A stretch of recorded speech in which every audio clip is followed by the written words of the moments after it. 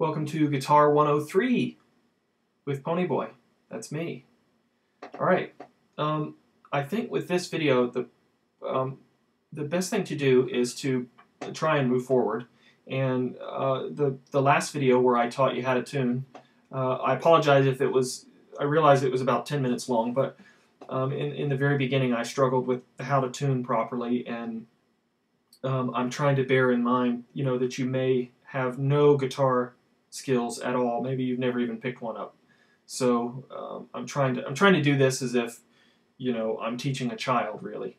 Um, okay, so if we've got the tuning down, we're going to kind of refer back to the first video now. So we're kind of taking a step back, but still moving forward. Um, we're still going to be using the A chord, the C chord, and the D chord. Okay, so the same three chords that we used in the first video. We're just going to kind of alternate them now. Because I'm not a guitar teacher and I'm probably the least qualified person to, to be teaching anybody anything. Um, I don't know the names of these chords, so but that's not really the important part. The important part is that you can play them and that they sound right, and that you're comfortable with it. Um, that's just that's me making an excuse for myself. Um, I think I did pretty well actually at that. Would you agree? Um, okay, so let's just start again. We're going to start with A. Okay, so I'm going to show you the A chord. And um, remember that we're, oh hell, I'll just bring the chord up. Okay, here it is, A chord. All right, now whether you play it this way or this way, again, this is the way I play the A chord. What we're going to do is we're going to do the same chord, we're just going to remove our ring finger. Now if you play it this way, you're still removing your ring finger, okay? So I'm just going to play it my way because it's actually easier for me to remove my ring finger if my middle finger is not bunched right there in the way. See that? So that's kind of why I play my A this way. Okay, so here's A. Now remove the ring finger. Okay, now we're going to combine the two.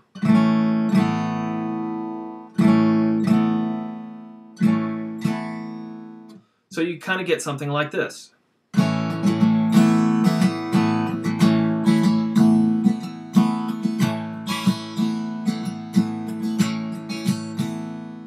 Got it?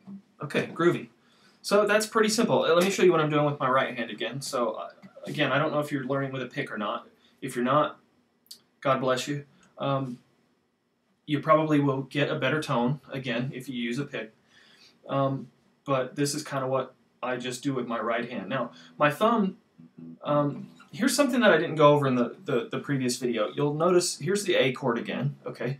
So you'll notice at the top of the A chord, you see a black bar, okay? And that, what that black bar is indicating is the nut right here, okay? That is the top of your fretboard. You can't go higher than, well, you can't go higher than that, but there's nothing there. You can't play up here. So what that does, you'll notice with the A chord, the nut is the black bar. The second, the first fret right here has nothing, and then our numbers are here. So it sort of gives you an indicator where you where you're at. Not sort of, it does give you an indicator. And these markers here, 3, 5, 7, 9, and 12. Then you also have 15, 17. They're all odd numbers other than 12. Okay? So these are really just markers to give you an indication of where you're at. If you're standing up, for example, and you're playing, you're, you're not really able to look down, at, you know, sort of look on your fretboard. Um, you, so I don't need them, but they're there. That's really what they're for. Okay, so where were we? A chord, right? All right, so let me show you again what my right hand is doing. Now, the point I was trying to make about the diagram with showing you where the nut is, you'll see there's an X, O, and O. Now what that means is that it's okay to play an A chord by hitting those strings. The X means you don't want to hit this string here. That's not really part of your A chord, and I'll show you. You're really strumming the whole guitar. But your A chord really should sound like this.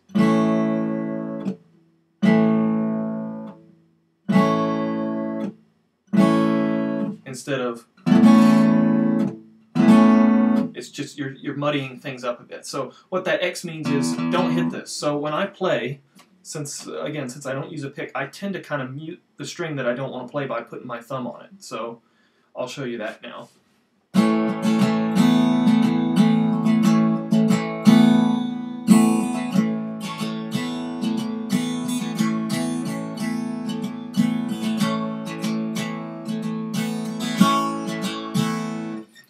Just the A chord and then that, that variation of removing the ring finger, okay?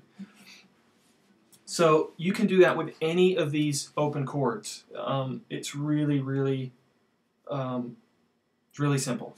Let's go to the C chord, which is one that we covered yesterday on the previous video. Okay, here's the C chord again. Bam! All right, one, two, three, yeah? See that X, it's saying don't hit the string if you can help it. And those O's mean the other strings are open, meaning your fingers are not on them. You're not fretting them. You're not touching them.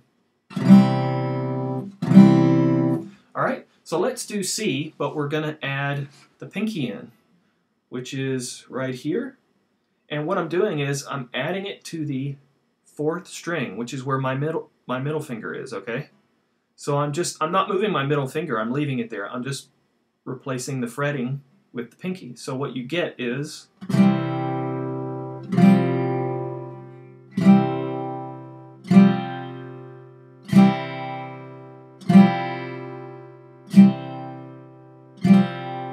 Get it? Now, again, I'm sorry, I don't know the names of those chords. It's just a vari I say it's a variation of C, which I'm sure that it is. I'm sure it's C seventh or something weird like that. And I'm sure somebody's going to see this on YouTube and correct me and tell me what the name of the chord is. So thank you to whoever that bored person is. Um, okay, so what you can do with the C chord, again, you can actually remove the middle finger if you want. So let's do that.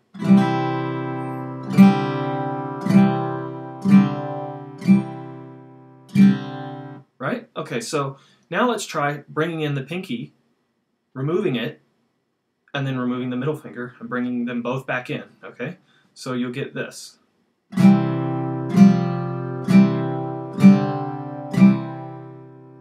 Okay, so we start with C, bring in the pinky, no pinky, no middle finger, middle finger back.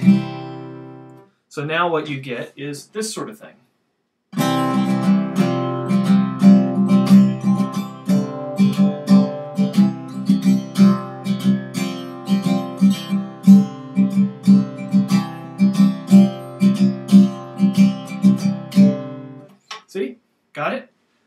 So, like I said, you can do that with all of those chords. It's the same thing we did with A. We're just adding a finger, removing a finger. So let's do the same thing with D, which is also another chord. Remember the cool D chord? Here's the D chord. Hello, D chord. All right. So, D chord. Now what we're going to do is we're going to remove the middle finger. So we're just going to play D, no middle finger.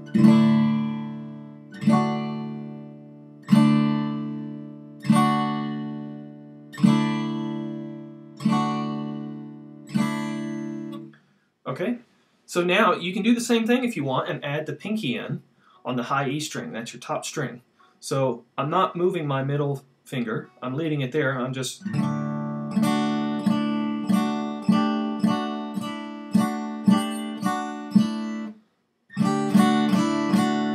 Get the idea? So it's the same thing that we did with C. We're just sort of adding and removing a finger. So let's try that again. D no middle finger. With the pinky, back to the middle finger, no middle finger. So this is kind of what you get.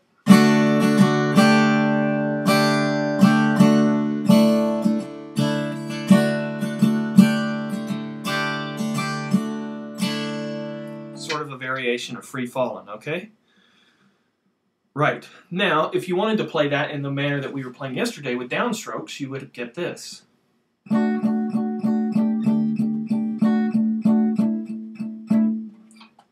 Not, not as fun. So probably best for you to be strumming on these, okay? So if you wanted to do A with the downstrokes, you get this.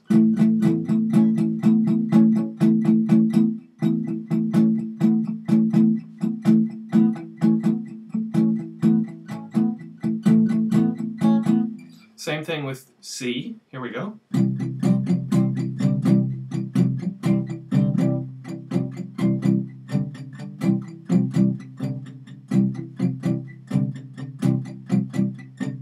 Okay, so you, you kind of get it. You kind of get an idea of how many different ways you can really play these chords and get different sounds out of them. Okay, so that's why I've just kind of taught you those three basic chords for now. So um, I think that's a good sort of foundation to, to to, to, to start with. And you may breeze through that. You know, that this sort of stuff took me about probably two months. So um, what I'll do in the next video is we'll cover the G chord, um, I think probably A minor, and then maybe E or something like that. So those are those are also some basic chords uh, that are just really necessary for you to learn. So um, and then we'll cover hopefully by then you'll have the whole adding a finger, removing a finger thing down. And so we'll just cover the basic G and then removing fingers and changing G up a little bit. Okay? So hopefully this has helped you in some way. Um, I apologize if it hasn't. If it's not helping you at all, let me know and I'll stop making these ridiculous videos. You won't have to hear my voice or look at my face anymore, okay? All right. Catch you later. Bye.